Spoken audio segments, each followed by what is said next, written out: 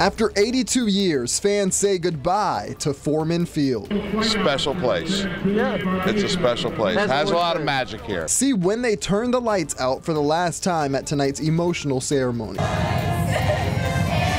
We're taking a look back at the good times and looking forward to a brand new home for the Monarchs. When the new stadium is here, it'll be even that much more fantastic.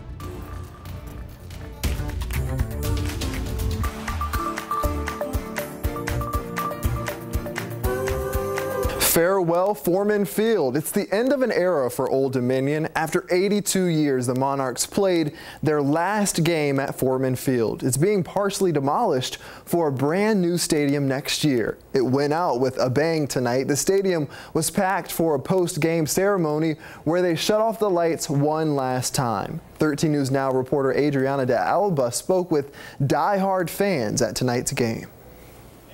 It's been 82 years since Foreman Field first opened, but starting next week, parts of it will begin getting torn down. Fans are calling it the end of an era, but the beginning of a new chapter. This place has been, for 10 years, our home every Saturday. Every Has it not?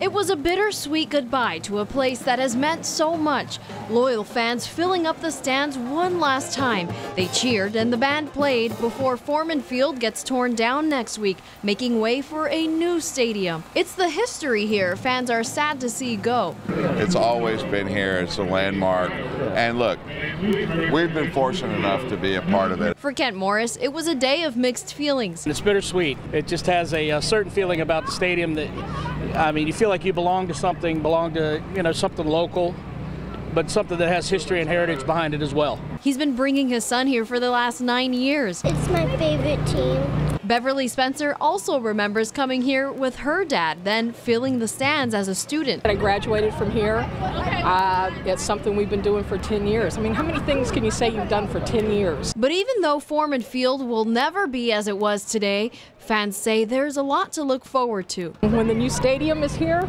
it'll be even that much more fantastic.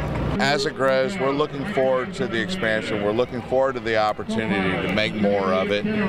But I can tell you, special place. Yeah. It's a special place. Has Has a lot of magic here. In Norfolk, Adriana de Alba, 13 News Now. So as you saw there, the fans certainly enjoyed themselves at today's finale from Foreman Field.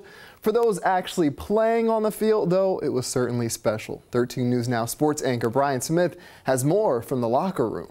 Yeah, Stephen, I've been a part of all 10 of those ODU football seasons, and it, particularly for the 20 seniors this year, uh, their last game with the ODU Monarchs, all they heard, uh, it, it's going to be one of those ceremonies after the game. That's all they heard. By the time they got to it, they got more than what they bargained for, and current and former players were there as they sang the alma mater. Uh, they had a nice fireworks show as well. It was definitely spectacular. Uh, as the lights, uh, were, the old lights were turned off and the new ones were turned on. They're LED lights, which means they're brighter. Certainly, the senior class was impressed. The memories that we have on this field, not only you know my team, but the program, the, the, just the history that, that was on this field, and uh, you know, having been the last team on there, I mean, it's nothing like that. It was very emotional, you know, seeing all the older guys that played in the past that even laid the foundation for us here, seeing all those guys happy and enjoying themselves. It was good. Now, coming up later in sports, a recap of the game itself, more from players as well as head coach Bobby Wilder on a special senior night. Brian Smith, 13 years. News Now. All that history. Pretty Thanks, cool. Brian. Pretty cool. Appreciate that. Well, now let's take a closer look at the history behind Foreman Field. The historic stadium is named for one of ODU's founders, A.H. Foreman. It opened in 1936 when ODU was still part of the College of William and Mary.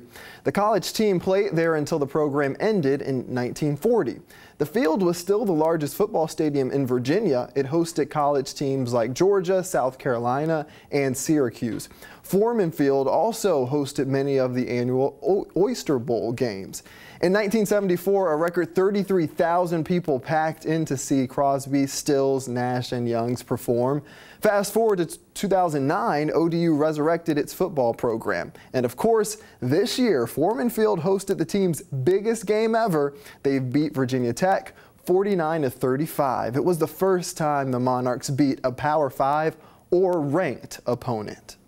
Now crews will start knocking down the stadium's seats. ODU says the demolition will probably start on Tuesday. The plan is to build a new similar sized 21,000 seat stadium in its place. ODU says it will have better seats, restrooms, and amenities. You're looking at the new stadium there. It's supposed to be done in time for next season's opener against NSU on August 31st. Virginia Beach-based SB Ballard Construction Company is leading the project.